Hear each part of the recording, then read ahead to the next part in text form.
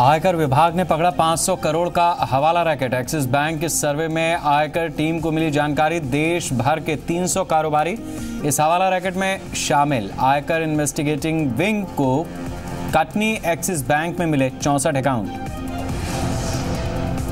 Tata chemical की EGM में भावुक हुए रतन टाटा बोले दो महीने से उनकी और टाटा ग्रुप की छवि खराब करने की हो रही है कोशिश, बेवजह बनाया गया निशाना।